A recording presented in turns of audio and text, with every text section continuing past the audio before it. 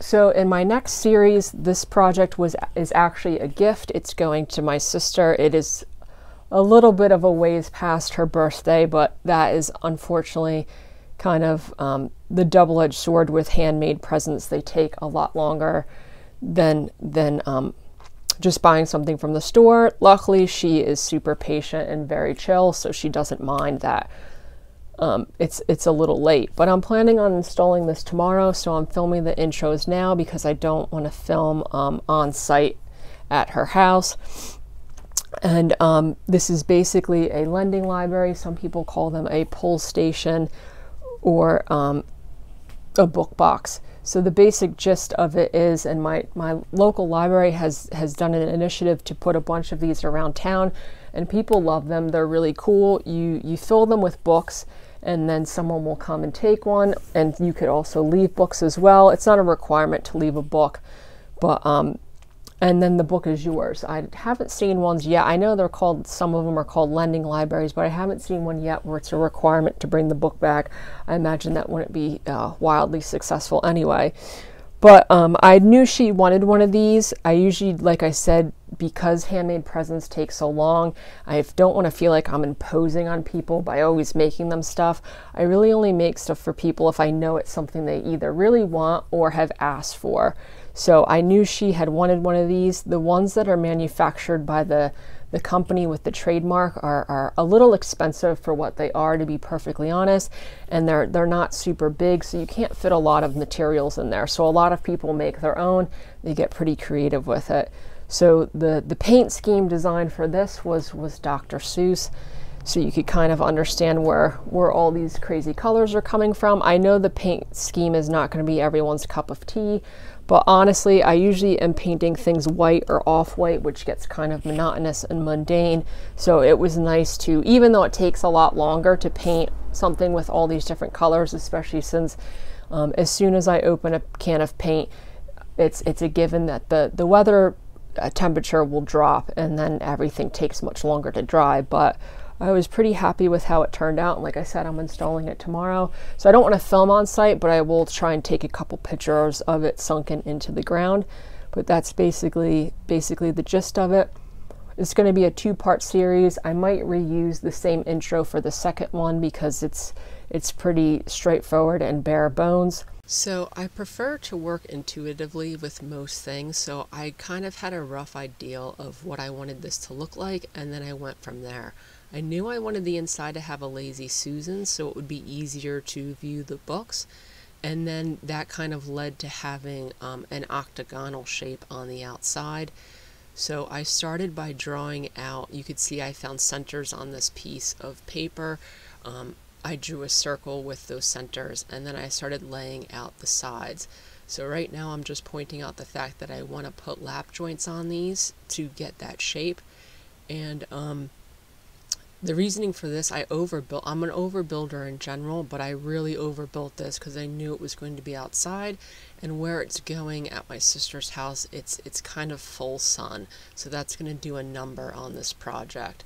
So I definitely wanted to put laps on the bottom and the top, especially with rain. It will just be the sturdiest uh, construction method. So I'm just lining up that angle using uh, a bevel. You can see I could get the same angle onto my table saw. And then I could cut a scrap piece of ply and I could transfer that to the radial arm saw in order to to cut this. So there's this is a pretty involved construction in this piece. Um, on pieces like this, I like to play around with techniques and design because usually I'm making stuff for customers and it's pretty strict, um, strict measurements and strict design. So it's always nice to make something um, from my own head.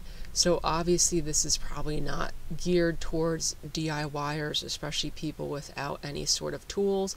But I thought it would be a fun video to post because I like the end product and um, I'm sure it could kind of stimulate ideals in other people even if you don't have these tools or a skill set for making something like this.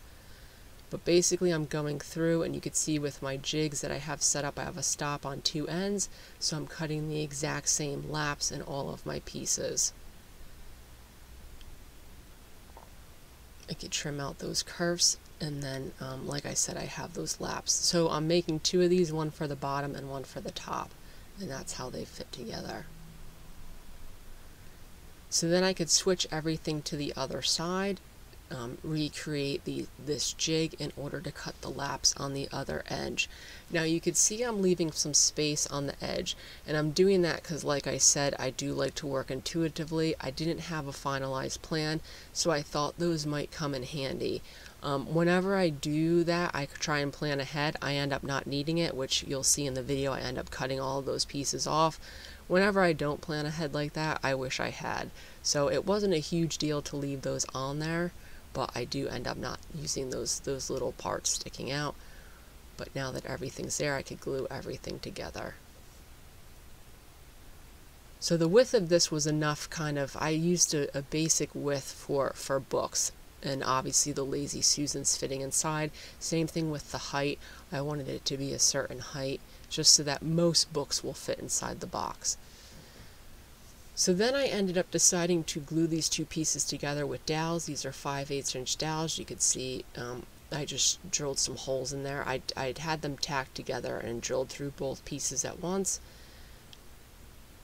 And that's how I attached the two. I also end up changing that. So then I roughed out a design. What I decided to do for in between the dowels is make these kind of curved arches that you could see through into the box. So I did some rough math um, these angles ended up being a little off and I, I modified them but you can kind of see the, the shape of the arch and the angles I was expecting to cut in order to create that arch. So I just registered once again the bevel gauge off of these angles and cut all of my pieces. Um,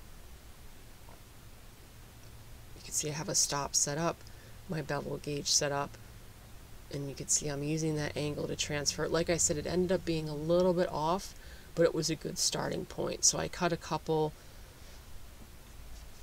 realized they weren't perfect, and then and then modified it a little bit. But you could see how I'm using that stop to cut those angles.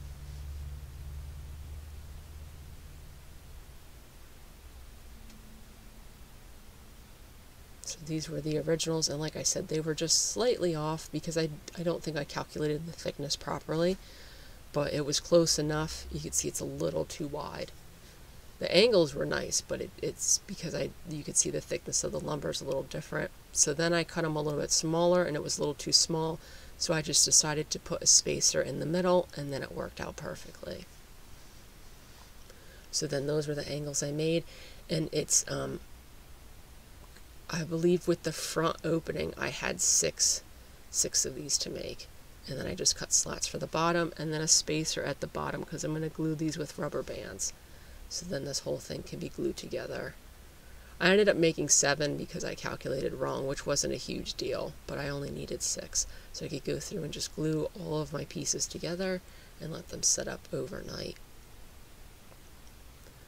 Glue the bottoms.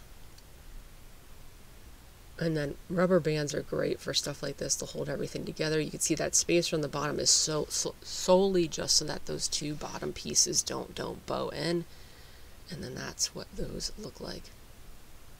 So there's my stack.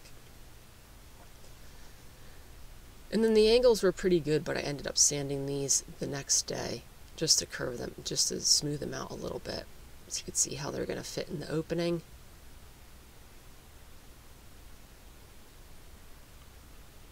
So then this is just smoothing out those edges. Because at this point I still hadn't decided what I was going to sheathe um, the sides with. I liked the ideal of these arches, but I didn't know what I was going to put around them at this point. So I wanted it to be smooth, so whatever was butting up against them, um, I wouldn't have to, to do a lot of compound angle work. And then just cleaning up the inside. So I was really happy with how these, these turned out. So there's my stack. You can see those are the ones that aren't done. They're close, but not perfect. So then in order to attach these, um, I decided I wanted them to tilt out a little bit instead of being flat. So I'm just using a small poplar spacer to draw an angle for that tilt. And then I could cut these, um, cut through that angle with my miter gauge set to the exact same angle. And then they'll have a tilt to them.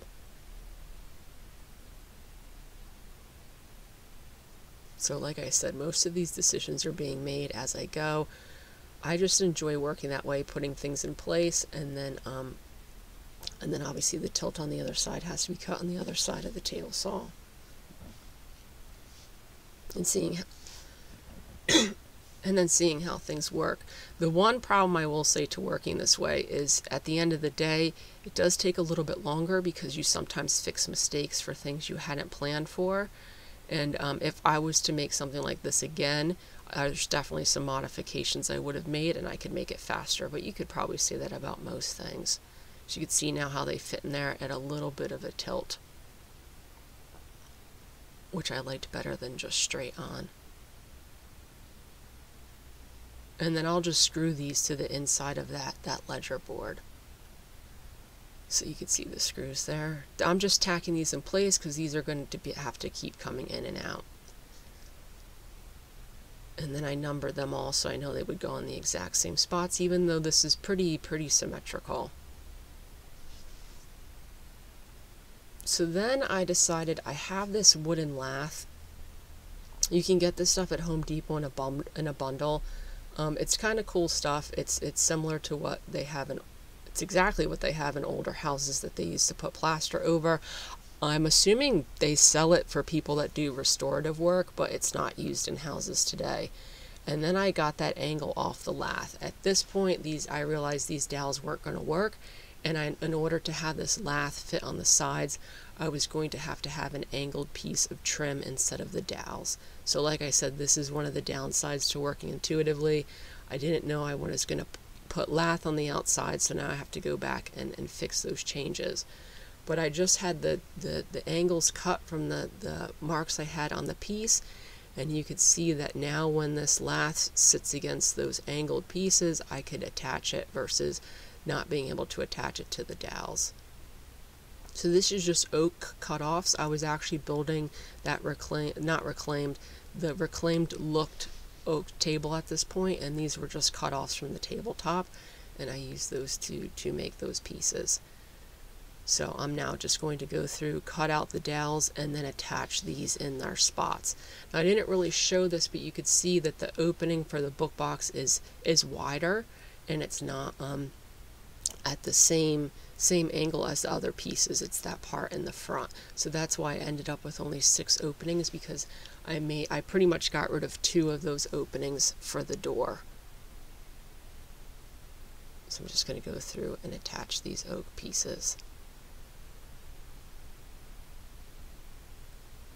And then for the wooden lath, all I did was go through and cut these and then I, I cheated them on top of each other to give them a look of, of almost vinyl siding. And I'm just gluing them all in place. This was really easy. Now the problem with this design is I'm cutting out a huge portion of this material in order to put those, those windows in but it was easier to just instead of having the windows in place and cutting little pieces to go around it I thought it would be much easier to just skin the entire thing and then go back and cut through it. So that's the sides skinned out. Now this is the first one I did and I rushed this. I did it the same day because I, I didn't let the glue set up. I could be a little impatient. And I only lost one little siding piece which I was surprised about so what I did was I caulked the inside of this siding so it would be a little sturdier. I let it set up overnight and then I came in and cut the rest of these and it ended up working out really well. So I fixed that part, which is what I'm pointing out with the pencil, and then this piece can, um, I show you that one, and I'm going to show you how I cut the third one.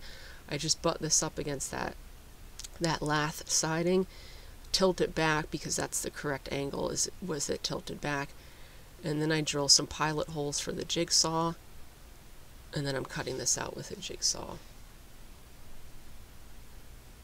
So there's the jigsaw that I'm cutting.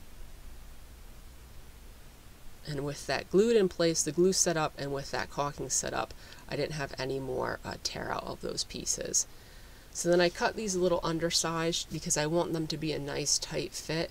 Water is going to be an issue for this uh, situation. I didn't want to have to fill a ton of gaps with caulk or anything like that.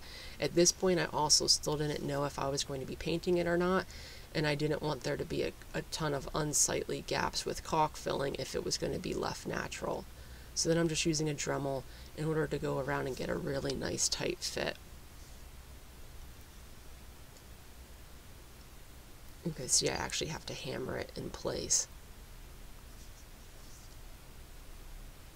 And then I just do that to all those. And then at this point, this bottom portion is, is pretty much fleshed out. That's, that's what it's going to look like um, at the end of the day.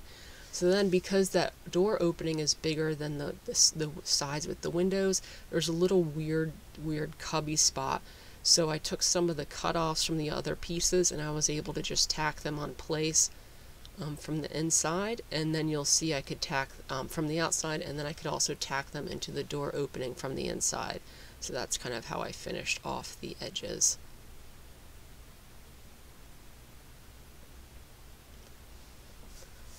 So to start the, the rafters, I kind of roughed out a shape I wanted, and then I had um, some scrap.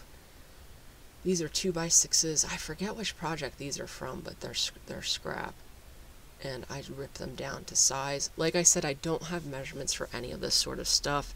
I was working, these are the scrap I had, so that kind of designated the width and the size. Those look to be about two and a half inches and then I could go through with a jigsaw and then rough cut out all of that pattern.